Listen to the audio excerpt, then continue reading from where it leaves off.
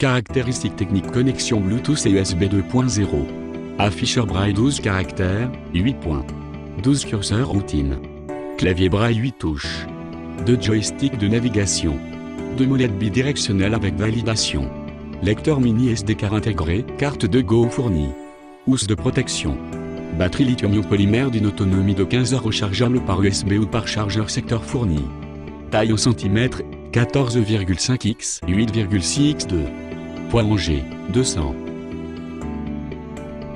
Bonjour à tous et merci de regarder cette vidéo de plus en plus nombreux sur ma chaîne, je vous remercie beaucoup. Aujourd'hui, on va voir pour moi quelque chose de très important. J'ai déjà fait des vidéos sur d'autres claviers braille, il y en aura de plus en plus. Je vais essayer de montrer et de prendre contact avec la totalité des constructeurs braille pour pouvoir vous montrer ces afficheurs braille, ces blocs-notes, et vraiment, j'insiste, je sais qu'il y a beaucoup d'étudiants qui me regardent et je leur dis, c'est important. Le braille, c'est très important. Lorsqu'on veut travailler par expérience, comme je vous ai déjà dit dans certaines de mes vidéos, j'ai perdu la vue tardivement et pour travailler, eh bien, j'ai dû apprendre le braille. Le braille, c'est existentiel. Pourquoi? Parce que on va savoir ce qui a écrit sous les doigts. Ici, sous les doigts, on va avoir l'écriture des mots. Et lorsqu'on va écrire, on va savoir s'il y a éventuellement des fautes. On va pouvoir corriger. Et c'est vrai qu'aujourd'hui, on a de très bonnes synthèses vocales. On ne peut pas le négliger. Mais vraiment, si on veut tenir un travail, le braille est obligatoire. Et le braille est une superbe invention par Louis Braille, une solution extraordinaire qui s'offre à nous. La lecture braille est super importante, exactement comme le font les personnes voyantes avec leurs yeux.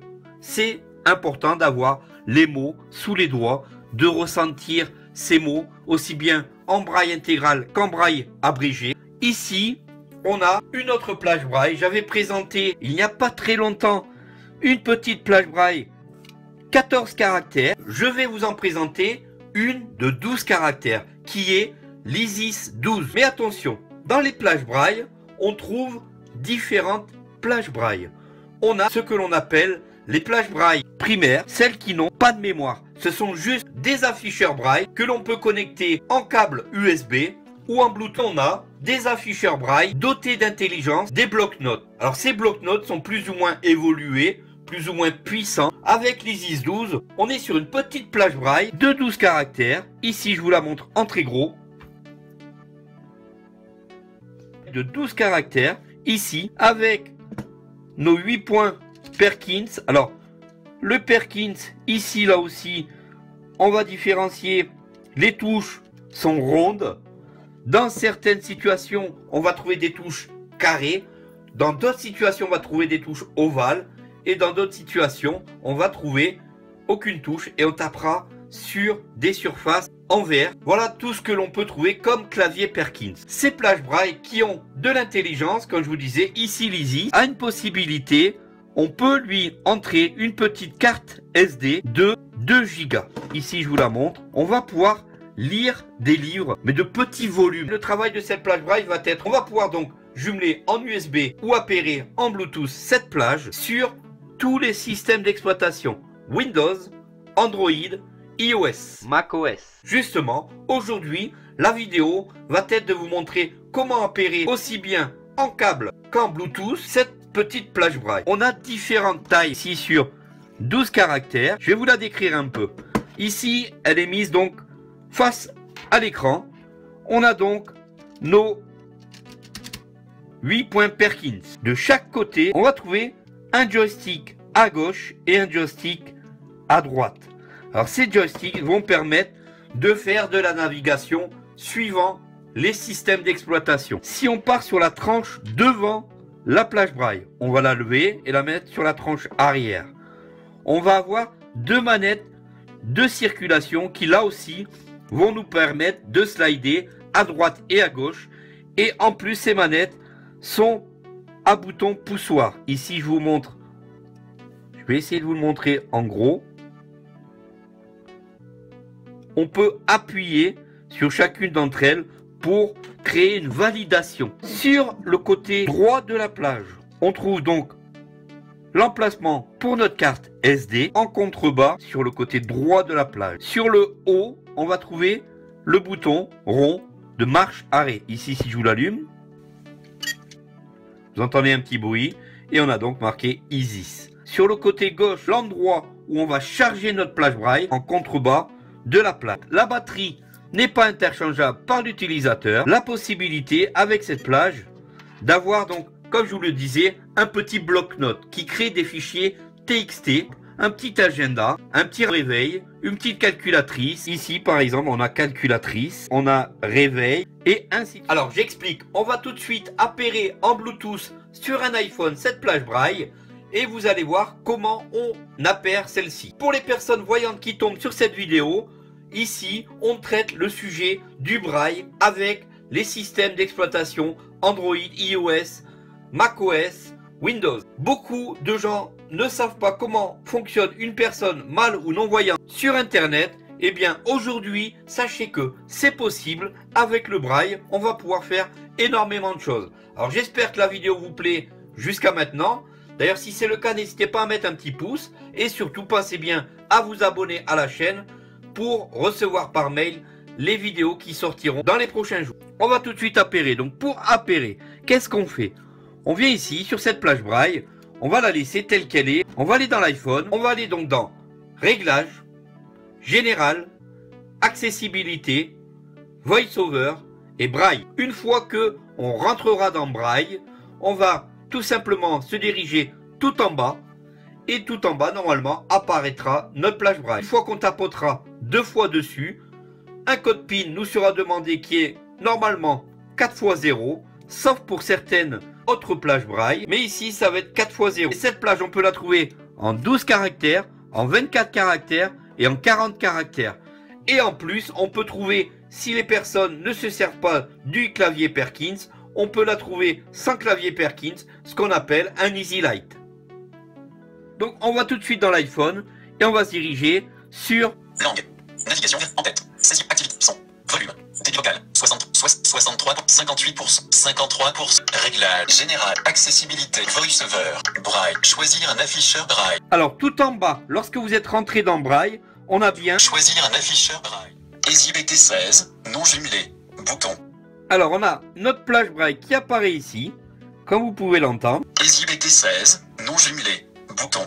On va tapoter deux fois pour lui dire que on veut bien se connecter à cette plage braille. EasyBT 16, jumelage. Champ de texte sécurisé. 0. 0.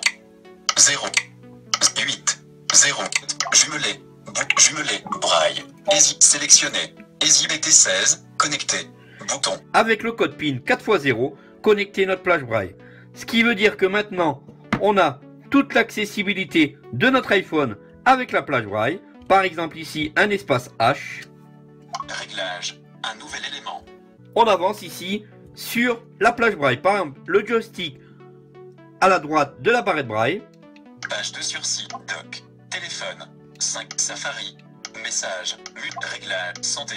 Maison. Vidéo. iBooks. App Store. Note. On va aller par exemple sur Note. Comme vous voyez, je suis en train de gérer simplement mon iPhone avec ma barrette braille. Alors ici, si on veut marquer un petit mot, on se positionne sur notre Perkins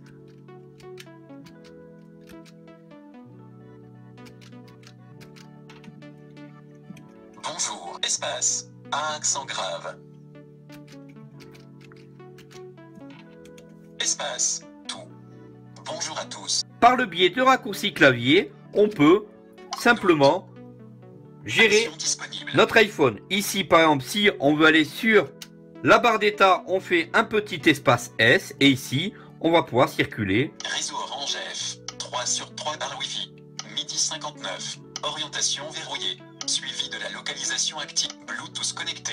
Charge de la batterie. Charge de la batterie. 81%. 3 barres sur 5. Intensité du signal. Élément de la barre d'état. Espace et accent aigu. Rideau d'écran activé. Rideau d'écran. On va l'enlever avec espace accent aigu. Rideau d'écran désactivé. Avancer de page en page ou reculer avec espace O. Page 3 sur 6. Et espace E dans l'eau. Page 2 sur 6. Énonciation désactivée. Énonciation activée. Espace M pour être discret Et ici, par exemple, Énonciation désactivée. on va plus avoir de retour vocal. Et bien sûr, on va travailler qu'en braille, silencieusement, d'où l'importance du braille. Voilà donc l'appairage sur iOS. On va passer tout de suite à l'appairage Android. Merci de rester jusqu'à là pour regarder cette vidéo. Nous voici donc sous Android. Alors sous Android, il va tout d'abord falloir se diriger dans le Play Store. Il va falloir télécharger une application qui va s'appeler Braille Back. C'est l'application qui va permettre de communiquer avec toutes les plages Braille en Bluetooth. Une fois que vous avez téléchargé cette application et que celle-ci est bien installée, on va la retrouver donc dans les paramètres d'Android, dans accessibilité. Il va falloir activer Braille Back. C'est-à-dire que c'est un petit bouton à activer. Une fois que celui-ci sera activé, on va se rendre dans les paramètres Bluetooth. On va voir si notre plage Braille apparaît. Et on va la jumeler toujours avec le code PIN 4x0. Et à ce moment, comme sous iOS, eh bien, on aura l'accessibilité de votre smartphone ou de votre ici Galaxy Tab A6 avec votre barrette braille. On y va tout de suite pour le jumelage, pour l'appairage. On se dirige tout de suite sur Application. Application. Paramètres. Paramètres. On va donc dans accessibilité. Sauvegarder et. Google. Accessibilité. On valide. Une fois qu'on est sur accessibilité, on part un peu à droite et on va chercher ici Service. Talkback. Switch access. Brailleback. Désactivé. Braille Back désactivé. On le valide de tape. Lorsque l'application Brailleback est activée, votre appareil affiche le contenu de l'écran sur une plage Braille associée, à laquelle il est connecté via le Bluetooth. Vous pouvez parcourir l'écran, sélectionner les options et saisir du texte à l'aide des touches de la plage Braille. Pour plus d'informations, appuyez simultanément sur la barre d'espace et sur les points 2 et 3. Cela correspond à la lettre L en braille de la plage lorsqu'elle est connectée. Très bien. Nous, ce qu'on va faire, c'est qu'on va l'activer. Désactivé. Brailleback demande autorisation de surveiller vos actions. Recevez des notifications lorsque vous interagissez avec une application. Récupérez le contenu de les fenêtres. Inspectez le contenu d'une fenêtre avec laquelle vous interagissez. Activez l'accessibilité web améliorée. Vous pouvez installer des scripts pour rendre le contenu de l'application plus accessible. Bouton annulé. Bouton OK. On valide. L'appui pour sélectionner. On va faire une chose bien simple pour éviter de chercher les paramètres Bluetooth. On va lui dire OK Google. Ouvrir les paramètres Bluetooth. Ouverture des paramètres Bluetooth en cours. Plutôt pas mal et plutôt rapide. Maintenant, on va chercher si notre plage braille est dans Bluetooth. AirPod de Christophe. Appareil disponible. Lec. Asus BT16. Elle est ici. On va tapoter deux fois. Stabilisé. Clavier affiché. On va valider avec le bouton OK. Le clavier est masqué. Bluetooth. Affichage des éléments à 8 sur 8. Appairage réussi. Donc ici, on est tranquille. Maintenant, on va pouvoir gérer comme sur l'iPhone. Galaxy Apps les offres les offres. Galaxy. Précédent. Suncan. Jouer les composés Uber. Découvrez nos offres. et sans problème gérer l'intégralité de notre tablette ou de notre smartphone sous Android avec notre plage braille. Et bien voilà, j'espère que cette vidéo, l'appairage iOS, appairage Android, vous aura aidé à appairer votre appareil avec votre plage braille. Moi, je vous remercie beaucoup d'avoir regardé la vidéo jusqu'au bout. J'espère qu'elle vous aura plu. N'hésitez pas à mettre un petit pouce ou à liker, comme on dit. Et de vous abonner à la chaîne, c'est important pour moi, pour m'encourager. Et j'espère que vous serez là pour la prochaine vidéo. Et moi, je vous dis donc un grand merci et à très bientôt. Salut